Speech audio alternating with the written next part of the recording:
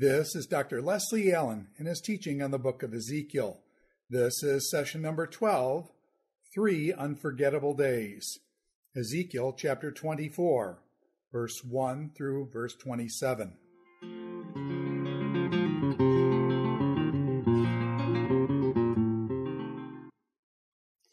We come now to Ezekiel chapter 24, and this will bring us to the end of the uh, third part of the book of Ezekiel so far. We noticed in chapter 21 there was a key word that ran through the messages. Remember? Sword. And in this chapter, there are three messages, and they all single out three days in the prophet's life. And so I've called this chapter Three unforgettable days. Verse 2 speaks of the first day. Mortal, write down the name of this day, this very day.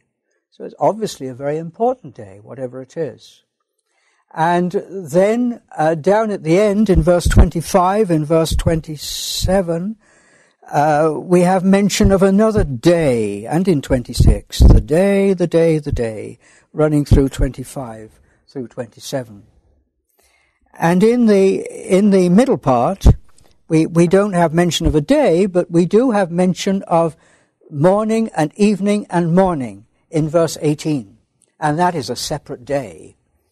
And so, two cases, the precise word day uh, in these messages, and then uh, in one case, an obvious allusion to another day.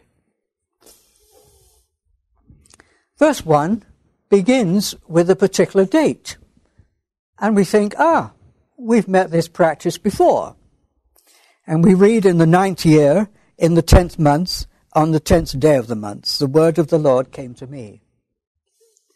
But if we were to look more closely and compare it with all the other references to dates in Ezekiel, this one doesn't match. It doesn't match in its format it, it, it, it matches uh, okay in the in the particular time that it refers to, but the form, the calendar form, isn't the same. And in fact, uh, it, it, doesn't conform to the uh, uh, chronological references in Ezekiel, but it does to the way that chronological references come in Second Kings. And in fact, this is a reference to uh, this is taken from, this date is taken from 2 Kings 25 and verse 1. And that date is uh, when uh, the beginning of the siege took place, when the Babylonian army came and initiated that long siege. That was the beginning. And so this seems to be a, a, a borrowing. Originally, there seemed to have been no date, but it's it's quite it's quite easy to see how um, at some point what was that date? Oh, we've got it in Kings. Well, let's put it in in in, here. But um, if you look, it's a different format. But what it turns out to to, to be, we can uh, we can sort out when it was. It was in January 588 BC in our chronology. So we, we know when it was. We know when uh, Kings says it was. Anyway, in verse 2, mortal, write down the name of this day, this very day. The king of Babylon has laid siege to Jerusalem this very day.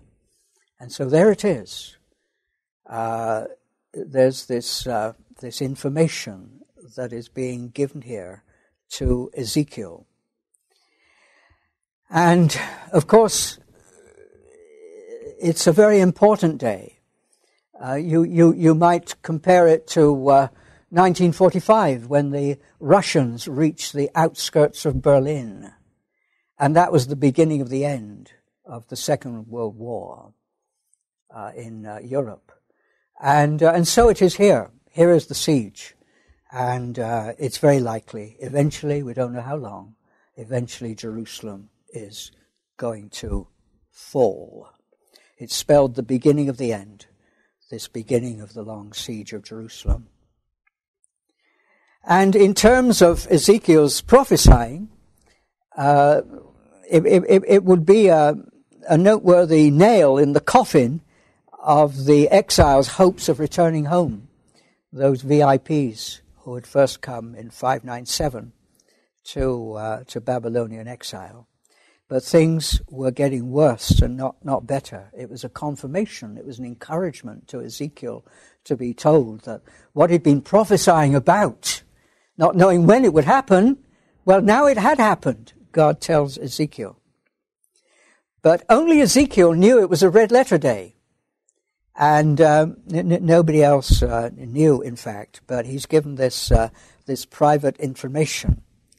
Uh, and he's told, down, told to write down that date as a confirmation that when it did happen, or rather when news came to Babylon of it happening, which would be even later, uh, that then, then it would, um, then it would, um, then it would be confirmed. That was what I prophesied.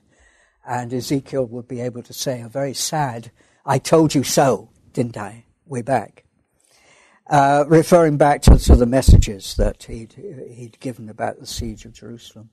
But for now, only Ezekiel knew through the extrasensory perception of prophecy. God, as it were, whispers the news in his ear. Uh, it must have saddened him, but to a greater extent, it must have encouraged him as vindication of the negative messages that he'd been transmitting for so long. I shouldn't imagine Ezekiel enjoyed giving those messages. He did, in a sense. Remember that scroll, that it was sweet as he swallowed it, as he had it in his mouth and swallowed it, but it was a, a bitter message uh, in, in content. And there must have been mixed feelings for Ezekiel as he gave these dire messages. We've seen how Ezekiel is the master of the extended metaphor. And he shows us once again uh, here, uh, because from verse 3 onwards, he has this uh, uh metaphor of a cooking pot, a very ordinary utensil in, in every home. A cooking pot used for cooking meat on a fire outside the, the uh, back door of the house an old cooking pot that had grown rusty with, uh, with, with, long uh, use. One, one might think that these commands given in uh, verses 3 to 5 are addressed to um, Ezekiel as a sort of symbolic action. Sounds like it at first. Set on the pot, set it on, pour in water also, Put in the pieces, all the good pieces, the thigh and the shoulder, fill it with choice bones. Take the choicest one of the flock, pile the logs under it, boil its pieces, seethe also its bones in it. In, in, in China, where I was living last year, there's very much a belief in the beneficial properties of, of bones. And uh, bones are always cooked with, with the meat. In fact, chopped up bones and uh, the marrow in them will, will, will be good for you. And when it's served on your plate, it's a mixture of meat and bones, and people spit out uh, on, onto the uh, table those little bones, whereas I delicately took them and put them in my soup bowl. Uh, and so bones very valuable because of the uh, rich content of the marrow inside it, which is an interesting phenomenon here. But in fact, as you look carefully, it's really rhetorical command to Nebuchadnezzar. It's really ordering him because this is the day when there's a siege of, of Jerusalem. And so the, the, Nebuchadnezzar is being told here to, uh, to, to get on with the siege and to carry it out and to accomplish the, that, that siege, in fact. And so it's ordering him to initiate the siege, but in these heavily metaphorical uh, terms. And of course, the real addressees, uh, looking on and listening, are the 597 prisoners of uh, war. And the meaning is, the meaning of the message is that Israel's God stands behind the king of Babylon in laying siege to Jerusalem. That's what it's really saying. And God is working out his own negative purposes through Nebuchadnezzar. And so Nebuchadnezzar is implicitly obeying God's orders. The text is not absolutely clear in its details, but we can understand that the siege is being described. And from now on, the people inside the city are like uh, chunks of meat and meaty bones being put in a cooking pot. And things are going to get very hot for them from now on during the siege. And included in the contents are choicest pieces from the best of the flock. In other words, Jerusalem's VIPs are going to be there, locked up behind the walls of Jerusalem. And uh, the royal family of Zedekiah and the royal administration and other socially important people, they're going to be there. The very best of people are going to be there in the pot as meat and bones, but really in the siege. And then verses uh, 6 to 11 refer to the second stage of the metaphor. Verse 11 is going to inform us that it's actually a copper uh, pot. It's made of, of copper, the, the, this cooking pot. Uh, but it's an old cooking pot, and there's corrosion. And uh, it, it, speaks of, of, of rust, but it, it's actually the, the green corrosion that you get from, uh, from old, old copper. Uh, and uh, and there's mention of, of this, this rust. Uh, verse 6 Woe to the bloody city, the pot whose rust is in it, whose rust is not gone out of it. And so you're drawing attention to the corrosion uh, inside this, this, this old pot. And it, it, hasn't been cleaned for a long time, just reused and reused and, uh, and left uncleaned. And that rust is going to be uh, is going to be burned out, or rather, that green corrosion is going to be burned out. And so, uh, put more wood on the fire, because now it's time to deal with that pot and to cleanse the pot and get rid of the corrosion. And it, it's really like our modern practice of having a self a self cleaning oven, and the, the, the, the temperature is is very high so that the, the, the, dirt in it is changed into little uh, bits of stuff, of white stuff, that you can wipe out at, at, the end. And so there's this, there's this extra, extra fire. Verse 10, heap up the logs, kindle the fire, and uh, stand it empty upon the coals so that it may become hot. Verse 11, its copper glow, its filth melt in it, its rust be consumed. And this, of course, this is at the end of the siege, Jerusalem is going to be set fire to, and all those wooden buildings are going to be consumed. And so, after the inhabitants are taken out, uh, then there's that second stage. And so, a reference to deportation of people from Jerusalem in, in 587, and also a reference to the destruction of Jerusalem by fire. And so, that's where you're going in this long, extended metaphor of the cooking pot and the fire un- underneath it.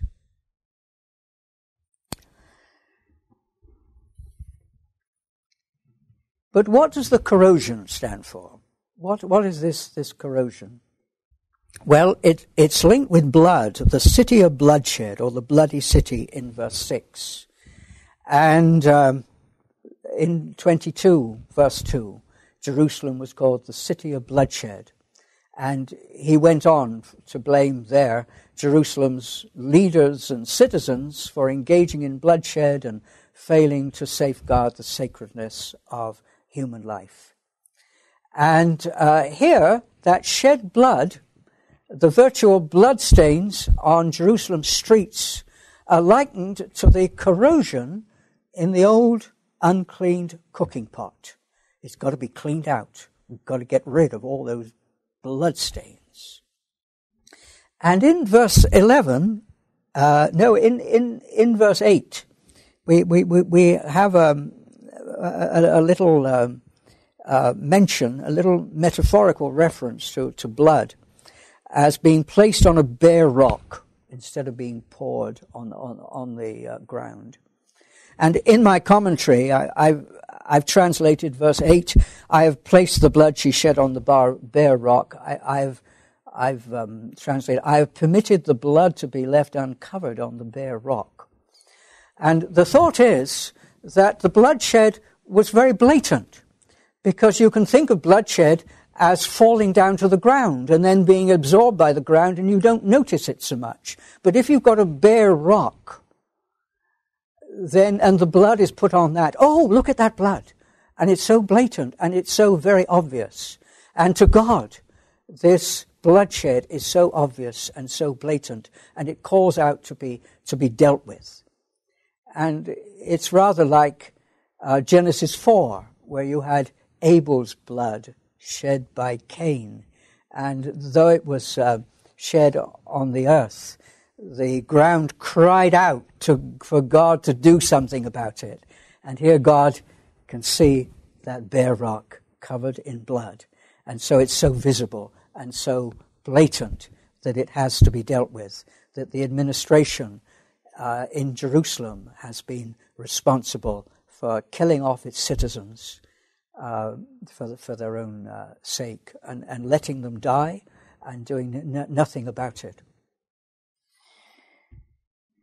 Verse 13 Yet when I cleansed you in your filthy lewdness, you did not become clean from your filth. And this is a reference to 597. In a way, that was a chance for Jerusalem to reform itself after the uh, VIPs had gone in 597, and they should have said, well, we've got to clean up our act, or else it might happen again. Jerusalem should have said that, but it didn't, and things had gone from bad to worse, so God had to intervene again, uh, in fact, in 588, and then the actual fall of Jerusalem in 587. We're talking about the cleansing of the pot, and, and we might think that that's something positive, but there, there's never any positive thought here. That cleansing is purely negative in dealing with the uh, bloodshed and getting rid of it uh, through the capture of Jerusalem. We come to the second day in verse 15 onwards, and this is a very traumatic and personal day for Ezekiel personally. And it involves uh, his own personal life and family because there's a symbolic action which uh, hurts Ezekiel very much. Verse 16 With one blow I am about to take away from you the delight of your eyes. Your wife is going to die. Your wife is going to die suddenly, just like that and it's going to be a shock, and it's going to be. Uh, whenever she died, it would be a shock, but the suddenness would make it even more of a shock. For so long, she's been the delight of your eyes, and then suddenly she's gone. She's dead. Well, now, normally, normally, when somebody in the family died, there would be a whole routine of mourning customs to express and alleviate to some extent the grief that one felt. Uh, and this, this would, uh, most, most cultures are, are, are like that. Um, though I, I, I, don't see much sign of them in, in contemporary uh, USA. But when my mother died in the 1940s, uh, there was an elaborate ritual, and there was not only the funeral, but the the, the uh, curtains on the windows at the front of the house would be kept closed for many weeks. And we males in the family, we wore black ties and we wore black armbands for many weeks. And this is what we did. And everybody would know they're mourning. They would look at the house, they're mourning. They would look at the men, they're mourning. And the women would be dressed in black dresses, so on. And so it would be made very obvious. And so there will be this visual expression of grief. And I told you last time about that uh, African American daughter whose father had just died in the hospital, and that wailing that woke up everybody in the hospital ward. Well, that, that is normal in many cultures, and it was normal in, in Israel. But here, very strangely, we might think, Ezekiel is told, the second part of verse 16, You shall not mourn or weep, nor shall your tears run down. Sigh, but not aloud. Make no mourning for the dead. Bind on your turban and put your sandals on your feet. Wear your ordinary clothing. And uh, do not cover your upper lip or eat the bread of mourners. And so there we are. He wasn't to have that, that, that funeral meal and invite his rest of the family and friends. And so it's very striking. And in fact, in verse 18, his wife did die. And the next morning, I did as I commanded, went about my normal business, showed no sign of mourning or grief at all.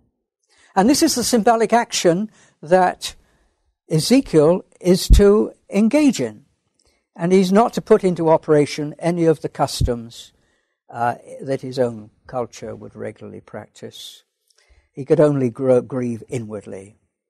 He was to dress normally, not to hold this special funeral meal. Now, his fellow prisoners of war recognize from what they know of Ezekiel that this must be a symbolic action, or we might say lack of action in this case. And verse 19, the people said to me, Will you not tell us what these things mean for us that you're acting in this way? This is so abnormal that you're not engaging in these mourning practices. Everybody does it, and you're quite entitled to do it. Feel free. Oh, Oh, well, and so the interpretation comes. The interpretation comes. And uh, Ezekiel has the opportunity, in response to that questioning, to pass on the interpretation and to be a witness to God's intentions. And uh, he can speak of the of the uh, background of the whole situation behind the symbolic action, the uh, the, the, the corruption, the total breakdown of society in, in uh, no, he can say what's to come in 587. And what's to come is to be the complete breakdown of society. And all the norms of society are going to be uh, uh, done away with. And even though uh, children are going to die, verse 21, your sons and your daughters whom you left behind shall fall by the sword. He sang that to the 597 uh, exiles. Uh, and yet, there is to be no mourning. And as Ezekiel had just lost his wife, they would suffer, the hostage, the uh, exiles of 597 would suffer bereavement. And, and even worse, the, the, the, the, the temple was, the lifeline between God and Judah was going to be destroyed, an unthinkable uh, disaster in fact. Verse 21 I will profane my sanctuary. And so, uh, which is the delight of the eyes of the Judean people. And so, life as people know it is going to collapse with 587. And when the prisoners of war hear of it, they're going to collapse in apathy. And they're going to be too devastated by their grief even to carry out the normal cultural soothing customs. Too stunned even for tears. It's going to be overwhelming, this news of the fall of Jerusalem. And so even now, Ezekiel, bereaved Ezekiel, he was a sign pointing forward to this great crisis which was going to happen, befalling the Judeans in Jerusalem and affecting in their grief the prisoners of war, their last hope of going home taken away from them, hearing of their sons and daughters who'd been killed at the hands of the Babylonians back in Jerusalem. And so life was going to grind to a halt, and Ezekiel is to give expression to this. And then 25 to 27 is this last uh, section, and this this in, is another uh, uh, day that, that, that's mentioned. It, it, it, has to do very much with the uh, siege. It may have to do with the actual fall of Jerusalem after the siege. It's not made absolutely clear.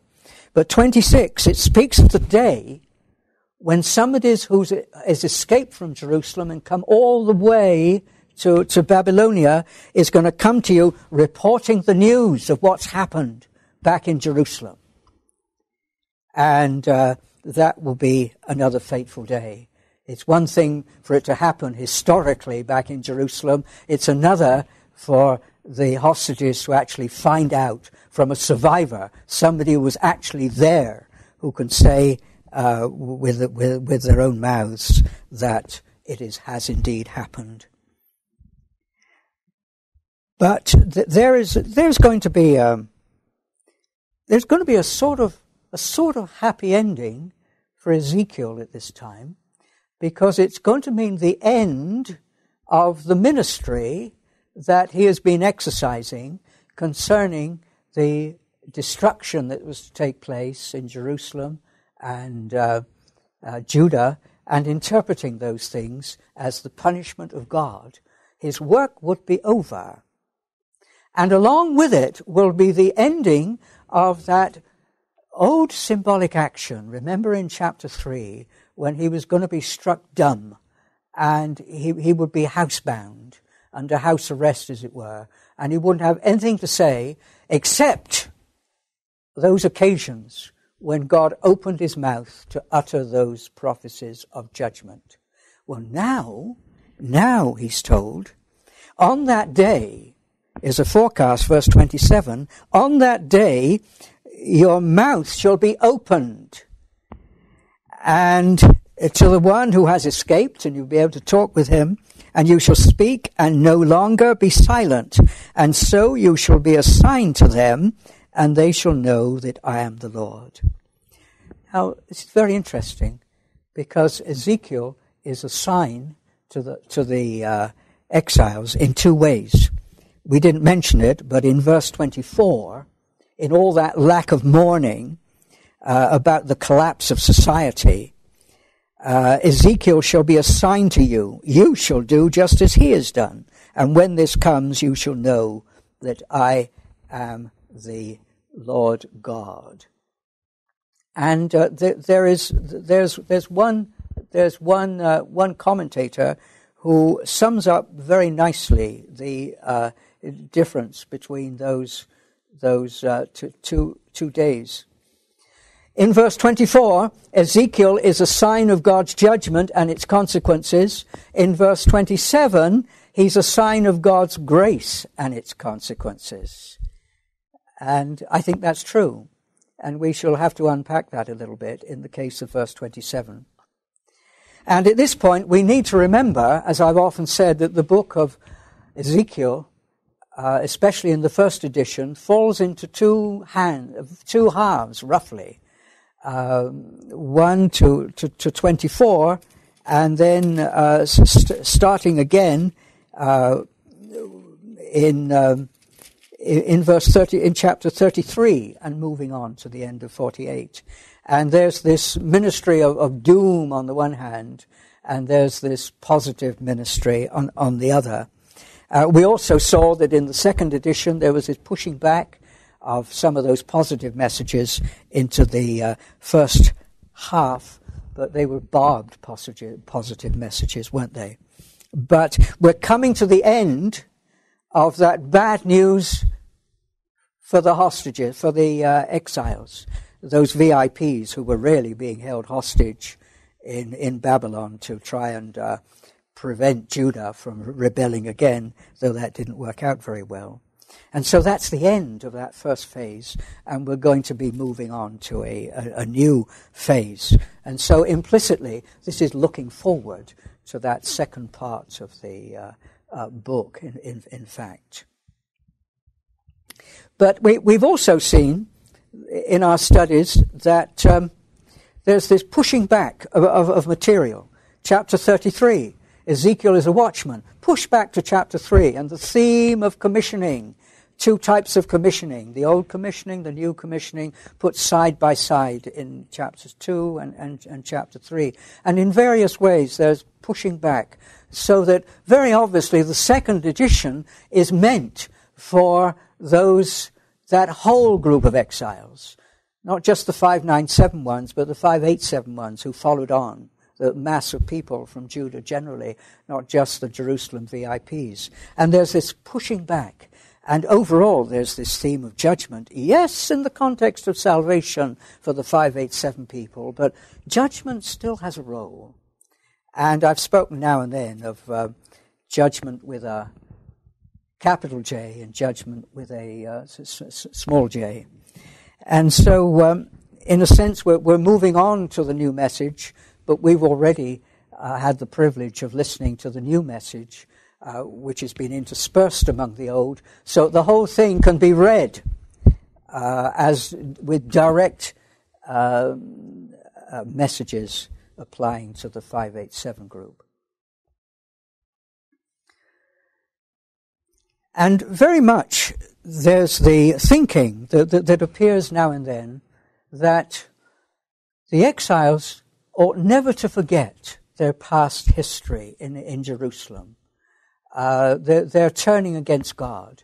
Uh, okay, they're looking forward to better things in, in, in the future, but they needed to remember what had happened way, way, way back, and that there was this, this great need to uh, do so.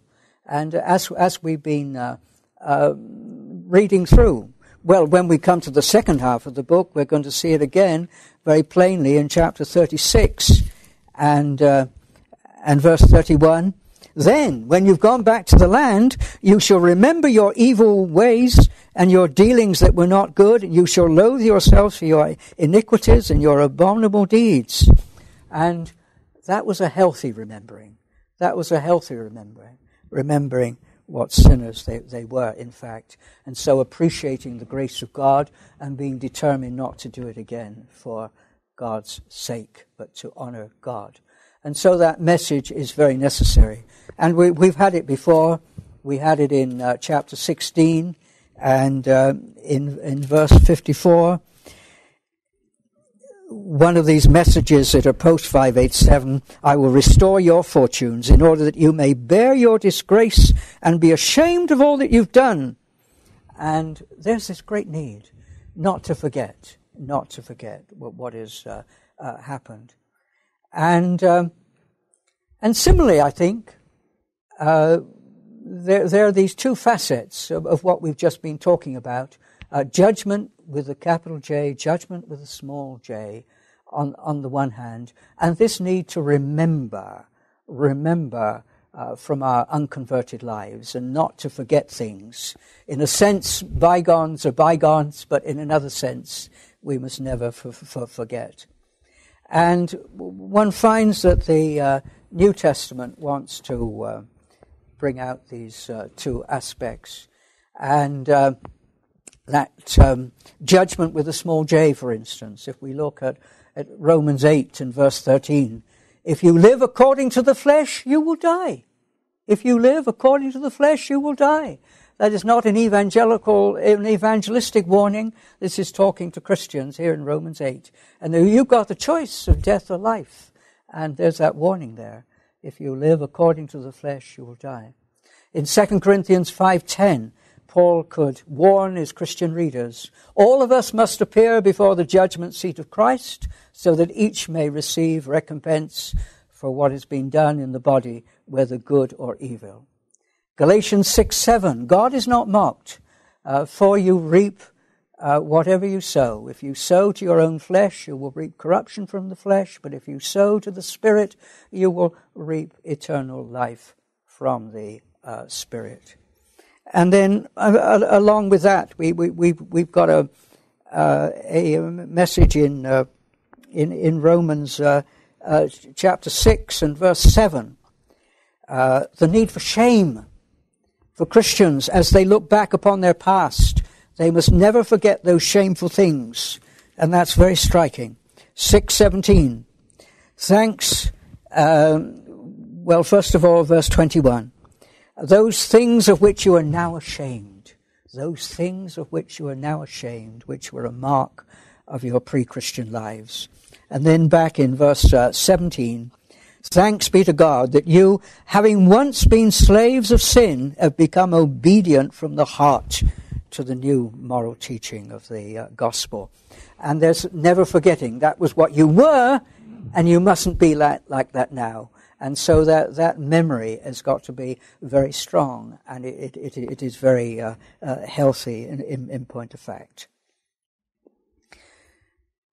But of course, in the New Testament, all this is radically different from that other judgment with a capital J and we, we mentioned in an earlier lecture Romans 1 to 3, the wrath of God. It's still a, a very important item in the, in, the, in the New Testament as in the New. The wrath of God that rests upon all, the judgment of God that rests upon all, but now saved from that judgment and, and uh, uh, moving into a new era of salvation. And in this case, in this case, we don't bear the judgment in this case, with the small j, we do bear the judgment, but in the in that capital letter J, uh, we don't. God absorbed the judgment in the person of His Son on the cross, but there's still that big judgment, still the small judgment, and so this is where Ezekiel wants to be.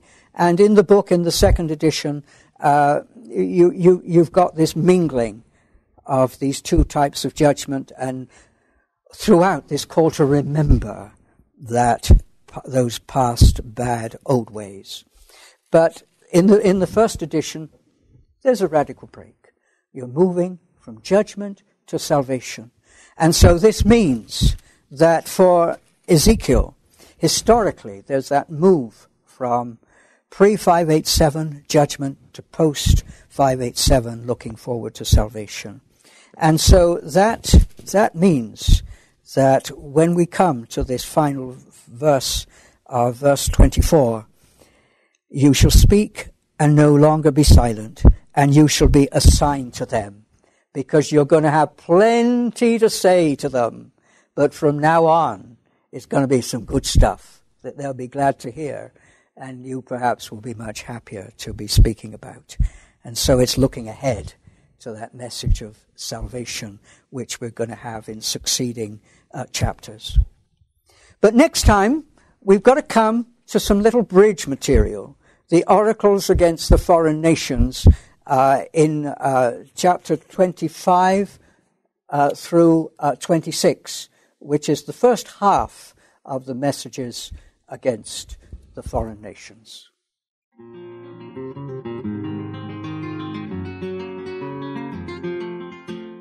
This is Dr. Leslie Allen in his teaching on the book of Ezekiel. This is session number 12 Three Unforgettable Days. Ezekiel chapter 24, verse 1 through verse 27.